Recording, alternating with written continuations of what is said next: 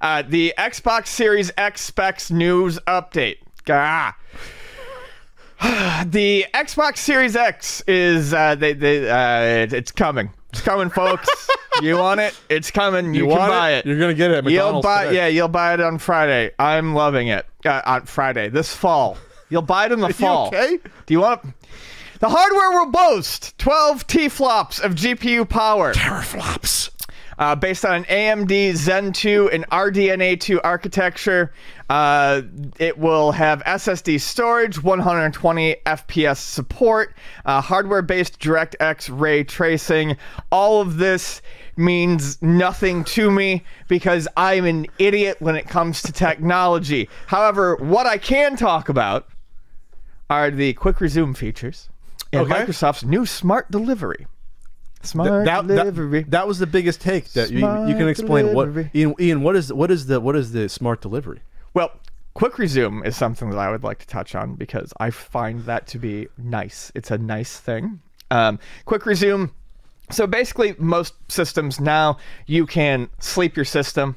yeah Um, and uh, you know, turn it back on, and it'll be where you left off. Um, some systems like the PlayStation 4 and I know uh, the Xbox One does this to a certain degree. I just I'm not super familiar with it because I didn't own an Xbox this generation.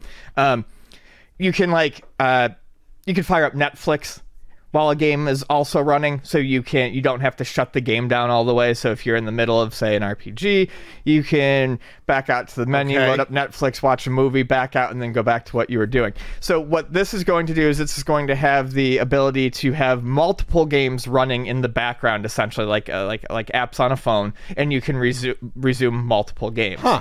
So that's actually fairly interesting. Um, I don't know that I play enough that I would ever make use of it, but there have been a few times where I, I feel like that that that that that would be nice.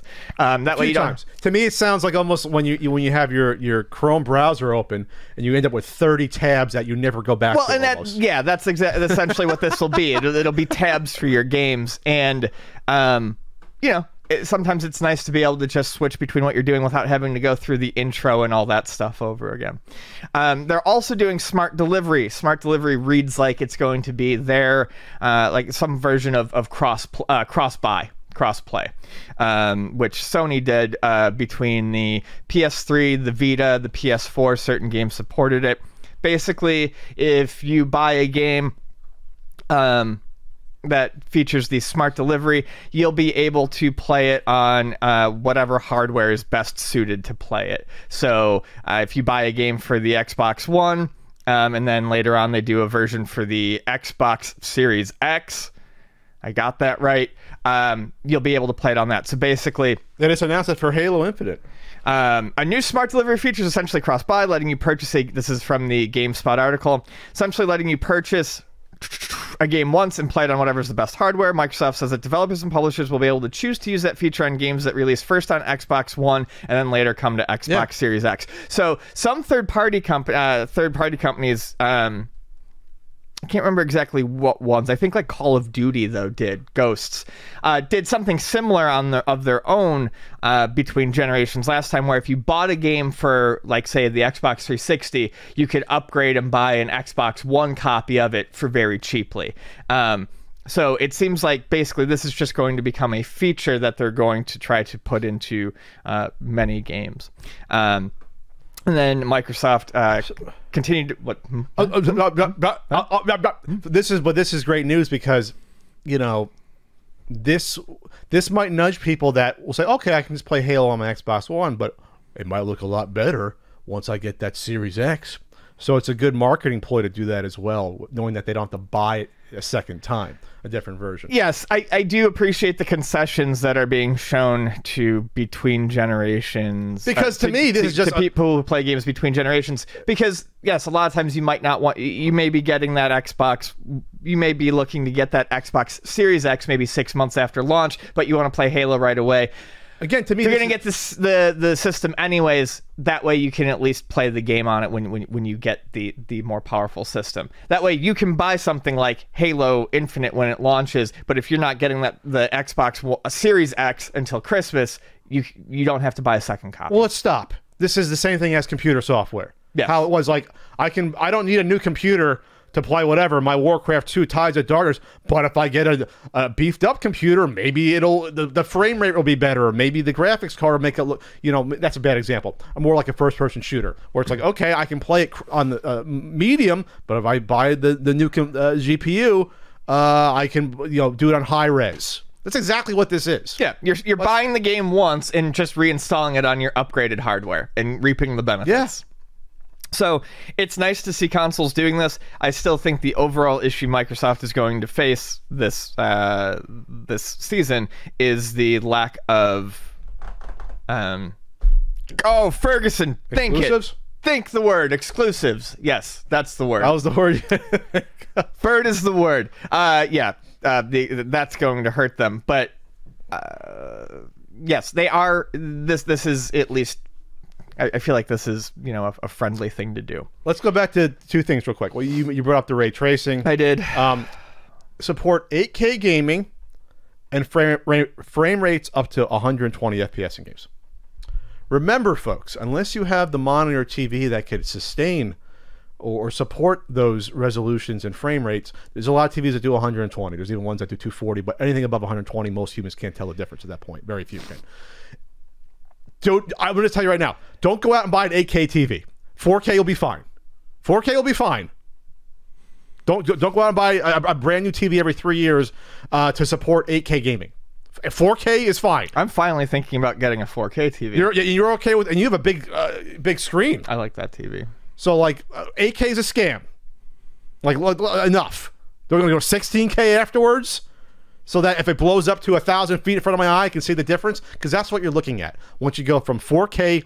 Remember, 4K's resolution is uh, like four times 1080p, right? Yeah, because it's 1080 to 4K.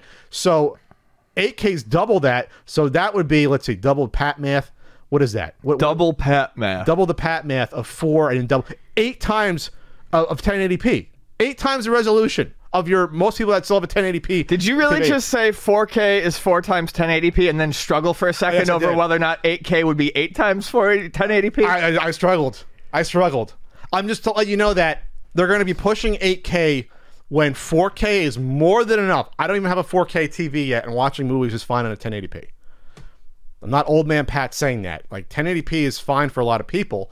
Uh, if you want to say, okay, well, get, go 120, uh, 120 uh, refresh rate, 120 frames, cool. Get the 4K TV for 500 bucks. Don't spend three grand on the 8K TV, whatever the frick they cost out there. It's, it's that's that's not.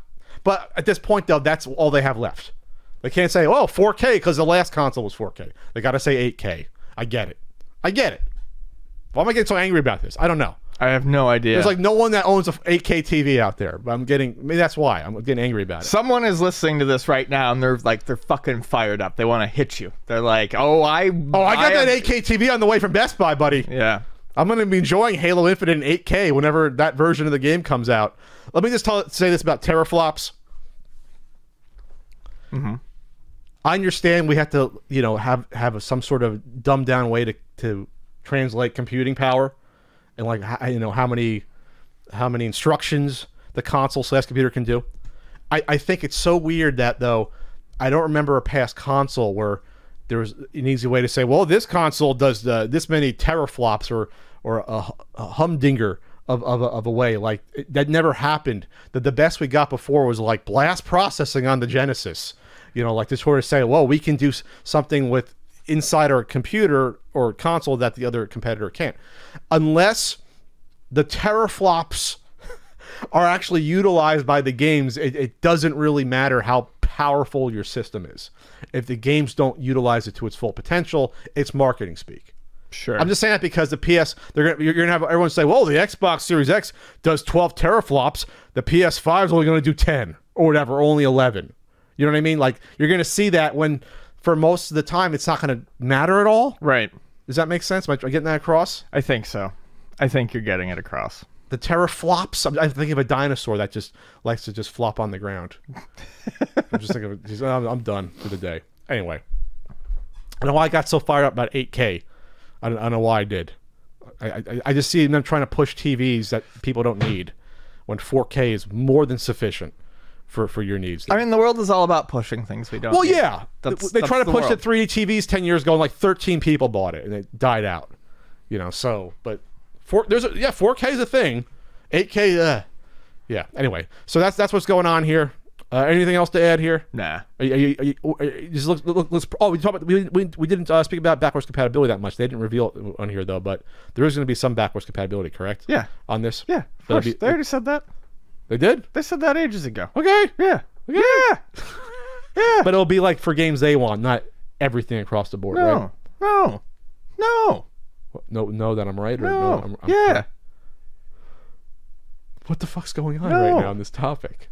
I don't know. We're moving on. we're time to- moving I'm on. to retire after the 200th, I guess. moving on.